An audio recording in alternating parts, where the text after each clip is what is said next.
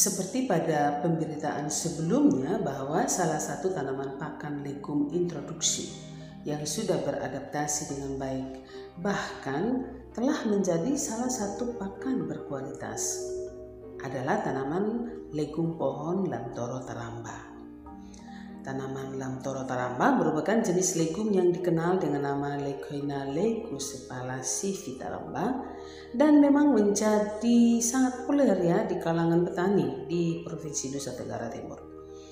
Uh, merambatnya penyebaran tanaman tersebut karena terjadinya proses adopsi yang cukup cepat ya di antara kalangan petani yang akhirnya juga menjadi perhatian pengambil kebijakan baik di tingkat provinsi maupun tingkat kabupaten dan kota di Nusa Tenggara Timur. Namun hingga dibuatnya episode ini ya, karena proses diseminasi inovasi tersebut telah berjalan dengan baik dan cepat, maka bukan hanya masyarakat tani di NTT saja yang sudah melakukan kegiatan pengembangannya, tapi sudah merambat ke berbagai provinsi di Indonesia, bahkan sampai ke Timur Leste. Hasil penelitian menunjukkan bahwa keistimewaan dari daging sapi yang diberi pakan lamtoro taramba adalah lebih sehat karena rendah kandungan asam lemak jenuh, tinggi kandungan asam linoleat, dagingnya empuk dan lembut, berair atau juicy dan segar. Nah, agar dapat dikembangkan dengan baik dan tidak tercampur dengan tanaman lamtoro lainnya seperti lamtoro gung dan lamtoro lokal ya maka perlu pula disampaikan teknologi yang berkaitan dengan budidaya tanaman lamtoro terlambat tersebut seperti halnya persiapan lahan, waktu tanam, konfigurasi tanam, kedalaman tanam, perlakuan benih sebelum ditanam, waktu memanen hijauan serta cara dan tinggi pemangkasan. Hal ini karena seperti produksi pada semua tanaman budidaya, performa legum uh, lemtoro taramba sangat dipengaruhi oleh pengelolaannya. Legum umumnya merupakan tanaman yang sangat tangguh, tetapi jika gagal menanam dan menumbuhkan populasi tanaman yang bermanfaat, akan mengakibatkan produksi biomasa dan fiksasi nitrogen yang rendah. Baiklah kita mulai dari uh, yang pertama persiapan lahan. Metode yang tepat untuk menyiapkan lahan tergantung apakah tanaman terlambat ditanam sebagai sisipan dengan pangan, dengan tanaman pakan rumput ataupun secara monokultur atau sebagai tanaman pagar.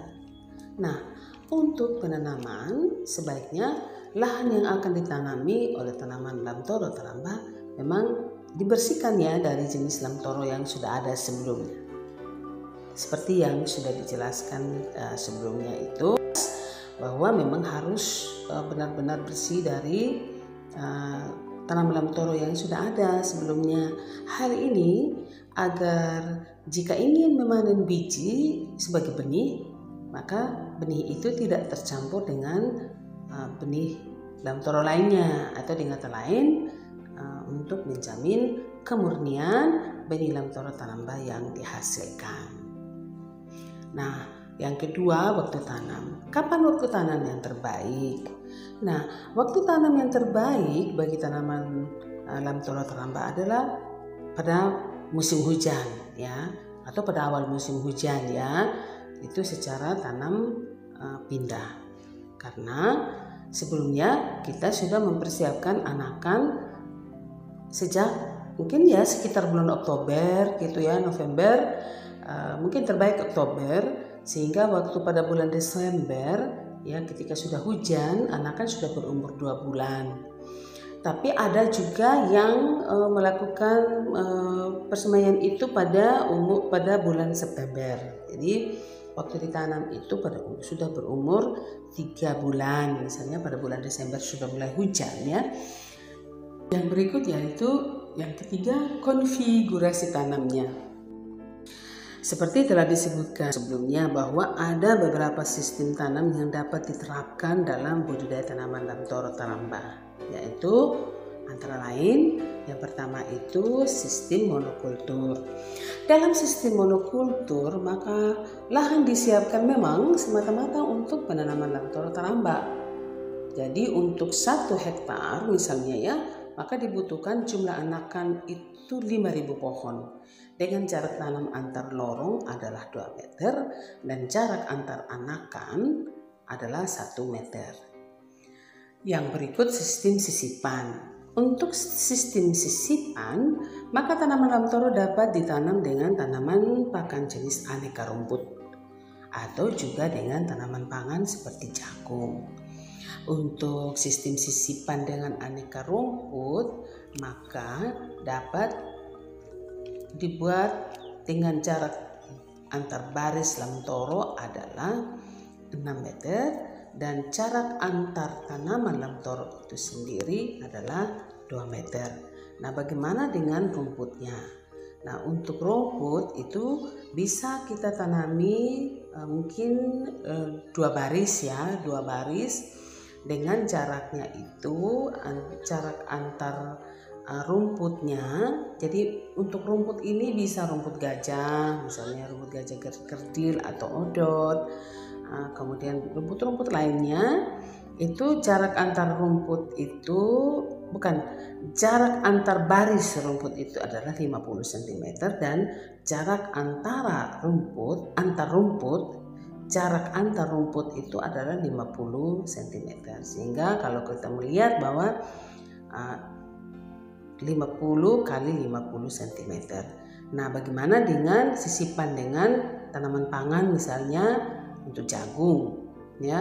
Jadi untuk jagung ya jarak uh, antar uh, baris lamtoro juga sama ya itu 6 meter dan jarak an, e, jarak antar tanaman lamtoro itu juga 2 meter. Sedangkan untuk jagung maka e, misalnya dua baris maka jarak antar baris jagung itu 50 cm sedangkan jarak antar tanaman jagung itu sendiri adalah 20 cm sehingga itu kalau kita mau mengatakan bahwa untuk jagungnya 50 kali 20 cm jarak tanamnya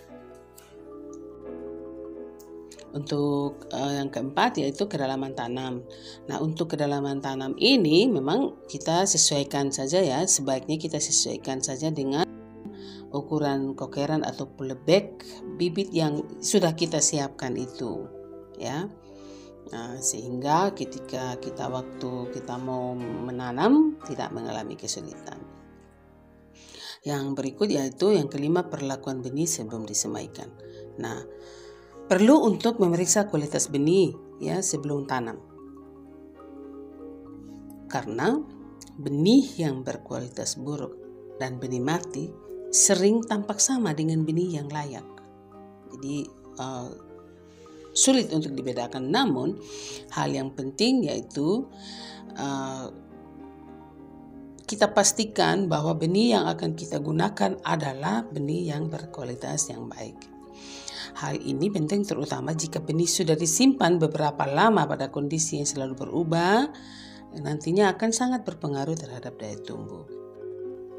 Nah, untuk memastikan pula kita bisa uh, gunakan uh, cara dengan merendam benih dalam air dan bila ada benih yang terapung, hal itu menunjukkan bahwa memang benih itu rusak dan yang pastinya kita tidak gunakannya. Nah, Benih lamtoro yang akan disemaikan sebaiknya direndam selama semalam, ya, atau hingga biji atau benih terlihat membengkak dan menandakan akan timbul kecambang dari benih tersebut. Nah, perendaman dilakukan dengan maksud agar ketika disemaikan dalam kokeran, maka kita tidak uh, menunggu waktu yang lama untuk berkecambah serta memastikan bahwa benih tersebut baik dan dapat berkecambah dengan baik.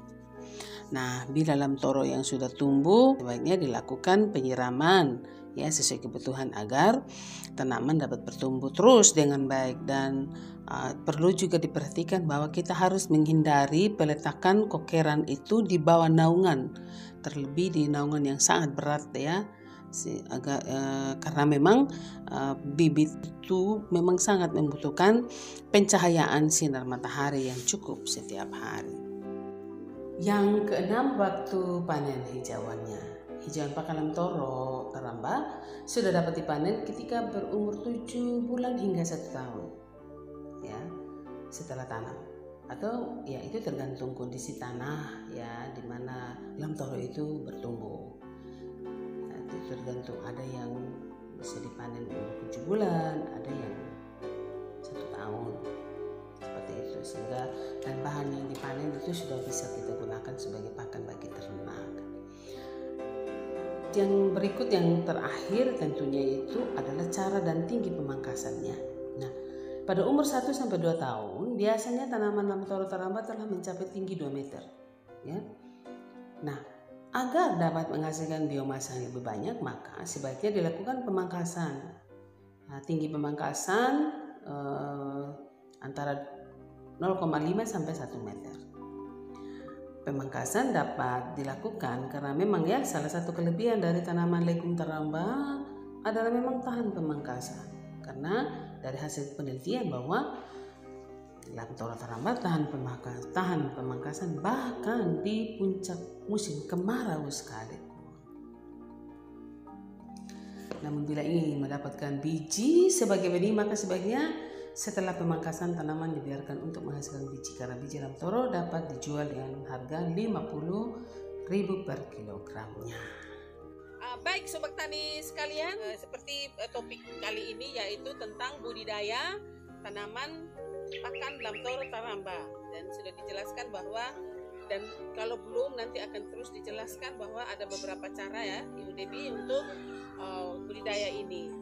Nah kami di sini berada di lahan BPTP NTT yang ada di ini lahan belakang ya bagian belakang sekali ini dan ini sudah diusahakan ditanami oleh uh, beberapa jenis pakan ya baik itu legum maupun rumput.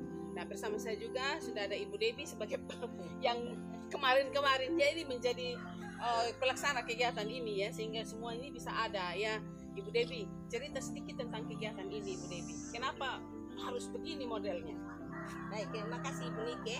Ini kegiatan ini adalah merupakan kegiatan kemarin kami untuk uh, tahun 2018 uh, kegiatan KP4S di mana kita uh, menanam uh, legum pohon dalam hal ini teramba kita integrasikan dengan rumput odot tujuannya uh, adalah untuk uh, bagaimana model ini bisa mensuplai satu kali uh, rumput dan legum kebutuhan ternak, kebutuhan ya? untuk kebutuhan ternak kita. Jadi ada rumput, ada rumput, ada, ada legum. Ya kita tahu bahwa legum ini adalah sumber protein dan rumput adalah mengandung uh, sumber karbohidrat gitu serat ya. Jadi combine dua-duanya itu bisa kita dapat satu kali begitu dipotong langsung sekalian dapat.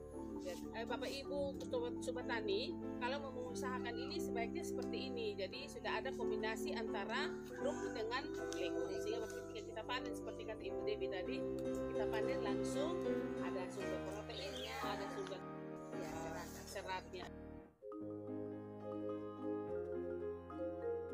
Baiklah Sobat Tani demikian yang dapat uh, kami sampaikan uh, melalui kesempatan ini.